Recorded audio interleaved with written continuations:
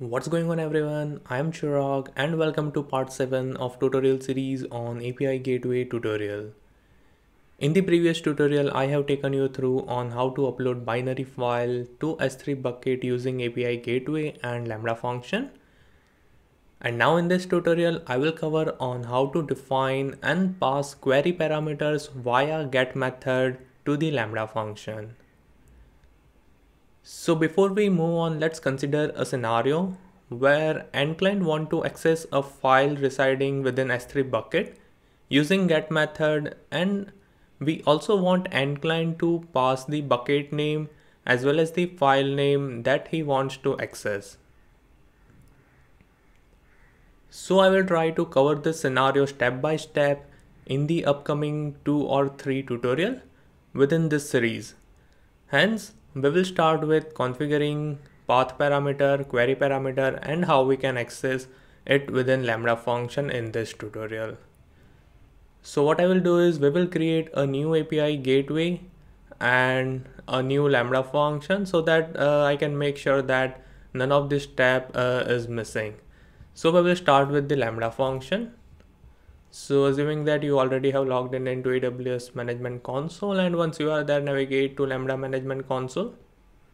Now within Lambda management console click on create function and give it a function name. I will say access file s3 API select runtime as Python 3.8 within permission select use an existing role and we will select the IAM role that we have created earlier in this tutorial series uh, that is lambda API gateway role. And say create function. Now once the lambda function is created navigate to API management console. Over there we are going to create a new API endpoint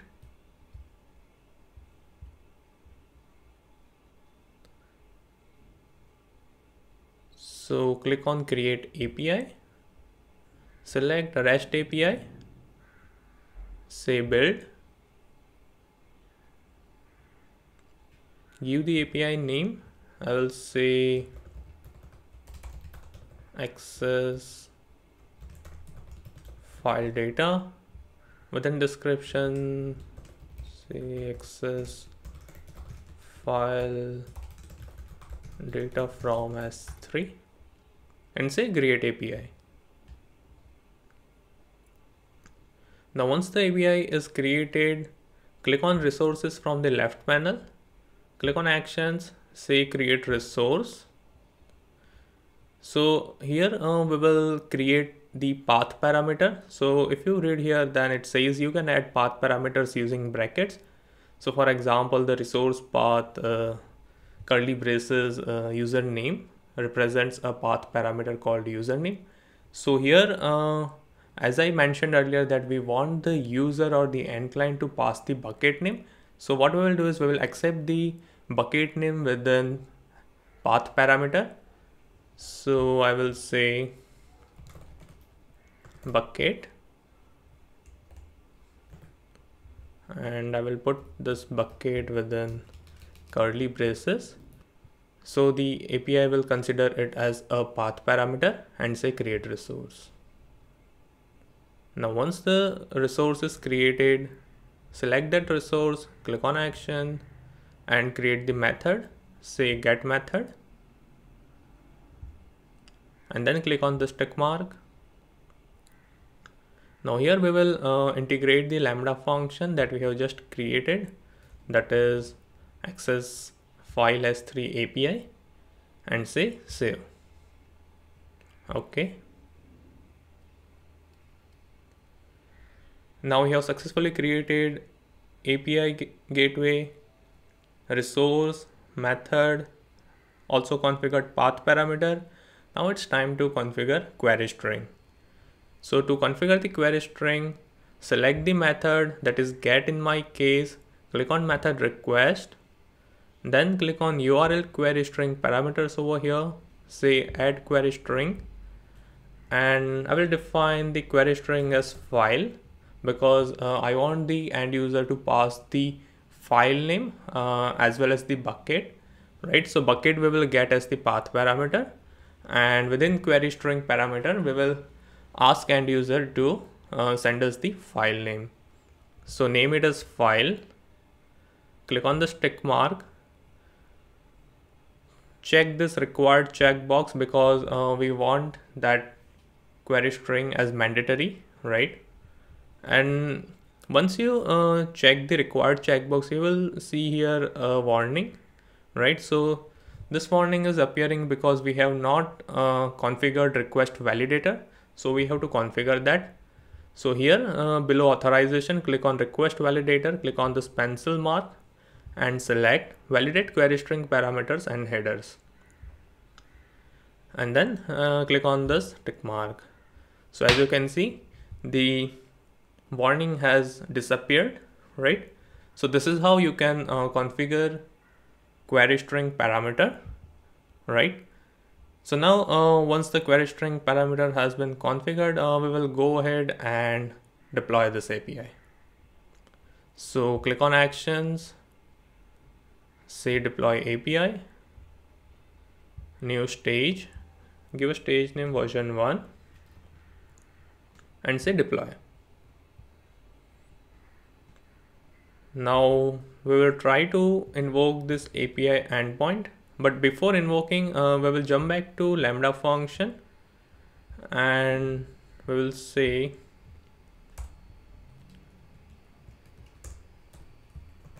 print event so that uh, we can see that uh, how the query parameters and the path parameters is coming uh, or how we can access that those things right so say print event and save this lambda function. Navigate back to API gateway, copy this URL.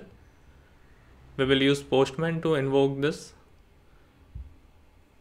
So since we have the get method, so select get method, paste that endpoint URL. Now after version 1, uh, we have to pass bucket name as the path parameter. So I will define bucket name as upload API tutorial. So now this is the path parameter followed by the query string, right? So question mark. So what was the query string that we have defined? That is file equal to content dot pdf, right? So in case uh, if I don't pass uh, the file query parameter, let's see what it written. So say send now it says missing required request parameter that is file because we have marked the query string parameter as required uh, while we was configuring the query string. So we have to pass it. So now let's pass file equal to content.pdf and say send now it returns status code 200 right it means the API endpoint is invoked successfully and Lambda function has returned the response. So let's go ahead and check the logs of the Lambda function. So why we are checking the CloudWatch logs is because we had print the event and we want to check that uh, whether or not we are getting those parameters uh, within that Lambda function. So open this log. Now as you can see it returned blank. It means the path parameter and the query string parameter or the query string is not being passed on to the lambda function by API gateway now in that case what we have to do is we will go back to API gateway click on resources from the left panel select the method that we have created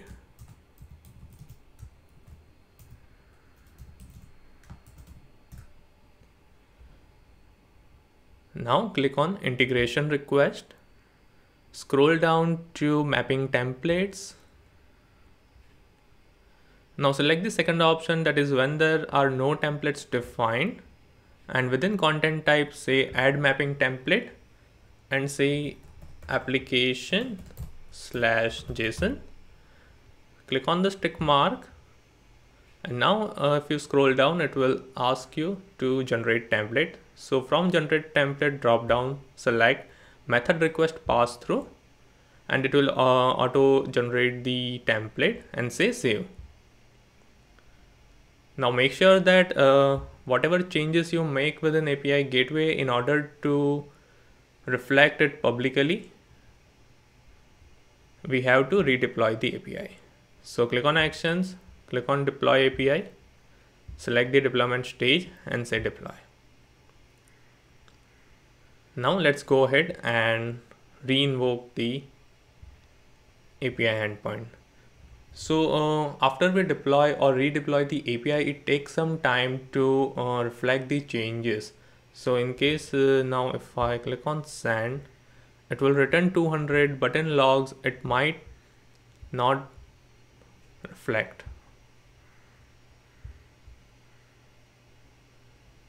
So as you can see the logs are being published so as you can see now earlier uh, we were receiving blank right? Because we had not configured the mapping template. But now since we have configured the mapping template we have the uh, full event being printed right? So uh, as you can see uh, here within params uh, there is path and there is bucket. So bucket is the uh, resource that we have created right? If you remember then and we have the value as upload API tutorial. So from where this value is coming, if we look at the postman, so after version one, uh, we are passing this, this string as a bucket name, right? That is upload API tutorial as path parameter, right? So, and then uh, we have the query string parameter, which consists of file that is our uh, query string that we have defined within um, method request I guess or method execution. So that we have defined in method request over here right within URL query string parameters that is this one. And then uh, it is followed by the content.pdf now this is the query string value that we are passing from the postman. If we look at the postman URL then we are passing file equal to content.pdf. So now we have the bucket name and the file name that we want to access or the end client want to access from the S3 bucket, right? So let's uh, clean this up. So click on configuration. So apart from that uh, query string and path parameters, uh, we have a lot more uh, thing or lot more uh, metadata available so you can go through it right so jump back to uh, lambda function and here let me comment this out and let me print. Or maybe I will say bucket underscore name equal to event of so what is it? Event of params. I will copy and paste it over here and then we want to fetch the bucket name that is coming uh, within path parameters. So within params uh, path followed by the bucket right? So this bucket is referring to this key. And then uh, we want to access the file name. So file name equal to event of params right? So event of params within that query string followed by file. Query string followed by file. And that's printed out. So print bucket name comma file name and save this lambda function now let's go ahead and reinvoke the API endpoint. So navigate to postman say send. Now let's go ahead and check the logs. So the logs has been generated and and we should have file name and bucket name. So let's have a look. So as you can see, we have bucket name as upload API tutorial and file name is content.pdf. So this is how you can define and pass query parameters as well as path parameters via get method to the lambda function and this is how you can access it within the lambda function. So uh, we are going to use these things uh, further as I mentioned the scenario earlier that uh, the end client want to access the file from the S3 bucket.